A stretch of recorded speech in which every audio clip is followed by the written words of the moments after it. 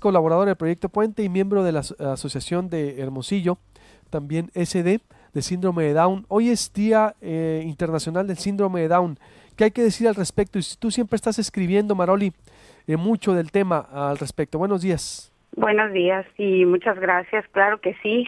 Bueno, hoy es un día con una gran, que nos ofrece una gran oportunidad para hacer conciencia sobre el síndrome de Down y bueno, verlo como una condición de vida, eh, acabar con los mitos que se tienen y, saber, bueno, que esta condición tiene muchas capacidades más que, más que discapacidades. Este día, desde 2011, eh, hace referencia precisamente para eso, para hacer conciencia y referencia a los valores que podemos aportar como sociedad inclusiva. Una palabra muy de moda y que realmente debemos aplicarla en todos los sentidos en el sentido de la educación y en el sentido laboral, porque esa es la parte difícil ahorita. Eh, sabemos que hay mucho impulso para las personas con síndrome de Down en la etapa pequeña, en la etapa de estimulación temprana. Pero ¿qué sucede con los jóvenes y adultos? Están en sus casas, van a actividades recreativas, pero realmente deben de ser productivos y esa es la parte que nos falta. Eh, a nivel mundial, bueno, tenemos, sabemos que hay una población de alrededor de 6 millones o más. No hay un conteo eh, exacto sobre esto.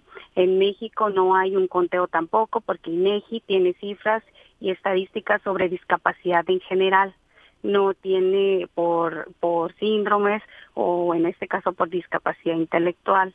Y en Sonora, bueno, eh, la directora de DIF eh, hace un año mencionó en alguna entrevista que había una población acerca de 3.200 personas en el estado.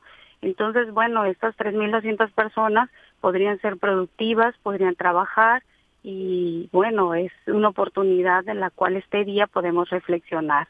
¿Cómo ser? ¿Qué es, antes de eh, seguir, qué es el síndrome de Down? Porque a veces se sataniza el término, la gente no sabemos, no sabemos, eh, creemos que es alguien que eh, discapacitado en su totalidad y no, o Maloli. No, no, claro que no. Mira, el síndrome de Down se da por una alteración cromosómica en, el, en los seres humanos comunes o regulares tenemos 46 cromosomas, 23 del esperma y 23 que vienen del óvulo. Se juntan y nace un ser humano. Bueno, ¿qué sucede con el síndrome de Down? Se triplica el número 21 y ese cromosoma además hace que tengas, bueno, algunas características físicas eh, como sus ojos rasgados, manos cortas o regordetas o estatura más baja y bueno, algunos problemas que tienen que ver con el desarrollo. Hay enfermedades asociadas con el síndrome de Down, pero en sí no el síndrome de Down no es una enfermedad, no hay una pastilla o una medicina para el síndrome de Down.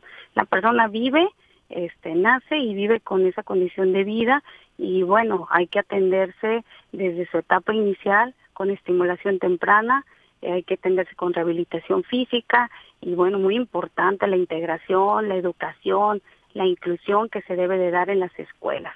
Eso es el síndrome de Down. No le tengan miedo a las personas que vean con esas características.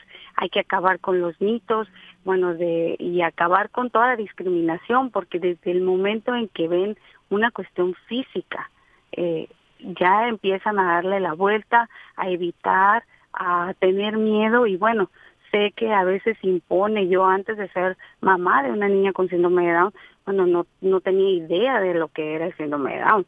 Entonces, eh, ahorita es parte de la labor que hacemos como, como madres, como agrupación, eh, que es ese de Hermosillo a la cual pertenezco, de concientizar, de informar y no solamente a la sociedad, sino de apoyar a los nuevos padres para que tengan herramientas suficientes y puedan impulsar a sus hijos, trabajar con ellos y vivir una vida digna, una vida común y corriente, como la de todos nosotros.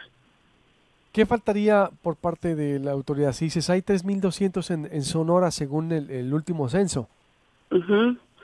Faltaría, yo, bueno, lo que vemos realmente es eh, la necesidad de espacios de inclusión educativa y laboral. Educativa desde el momento en el que te puedo asegurar que hay programas de escolarización hasta la secundaria. A partir de la preparatoria ya no hay programas para personas con síndrome de Down. Eh, de trabajo, bueno, las empresas, sabemos que hay empresas muy valiosas aquí en Hermosillo, hay programas pilotos, pero solo en, el, en la capital Y los demás municipios, ¿qué sucede con ellos? ¿Dónde está esa inclusión? Hay que ser productivos a estas personas y, bueno, integrarlas lo más que podamos. Como familias haremos nuestra parte, pero sí necesitamos eh, la parte de las empresas, de los gobiernos, que, que pongan su granito de arena para esto, ¿no? Para abrirles las oportunidades al trabajo. Nos conviene a todos. yo creo que aquí es brindar esa oportunidad. Totalmente de acuerdo. Maroli, pues te agradezco mucho. ¿Algo más que quieras agregar? No, pues una invitación. Ya tuvimos nuestras actividades eh, de concientización por parte de ese Hermosillo, pero hoy estaremos eh, ofreciendo una misa por algunas personas que ya se nos adelantaron y pues por toda la salud de las personas con síndrome de Down a las 7 de la tarde en Hermosillo, en la Santísima Trinidad, en la colonia periodista. Invitados. Perfecto. Gracias, Maroli. Saludos.